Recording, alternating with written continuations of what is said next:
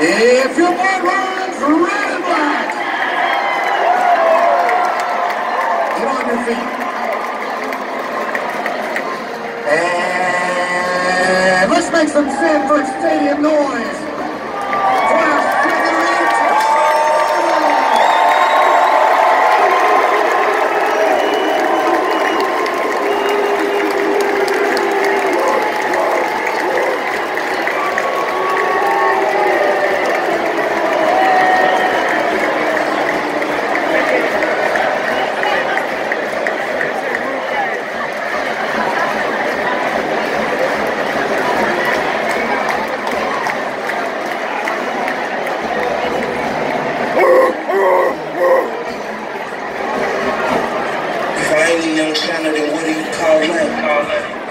I had some minutes off, and we'll declare the choice for the second half.